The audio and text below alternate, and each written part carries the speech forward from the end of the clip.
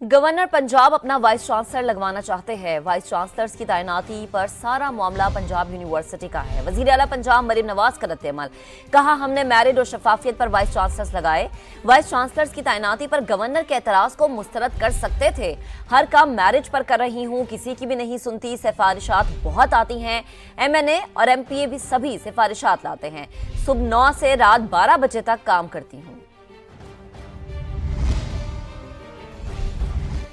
Universities में वीसीस की तैनाती पर मेरा कोई झगड़ा नहीं। किसी को वाइस चांसलर लगाने की ख्वाहिश है, ना वजी अला से कोई बात हुई।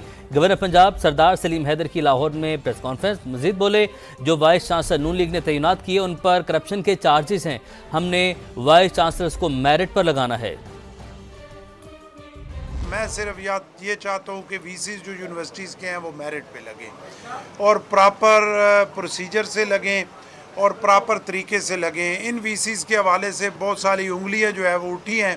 उस पर मेरी ख्वाहिश थी कि मुस्लिम लीग, नून और पीपल्स पार्टी मिल के जो अच्छे लोग हैं, उनको जो है इन यूनिवर्सिटियों में अपॉइंट किया जाए कि ये जो वाइस चांसलर अपॉइंट हुए हैं या जो सर्च कमेटी ने भेजे हैं, क्या पूरे पंजाब में यही लोग हैं जिन्होंने अगर एक पंजाब यूनिवर्सिटी से है, उसको ट्रांसफ़र करके जीसी में लगा दें?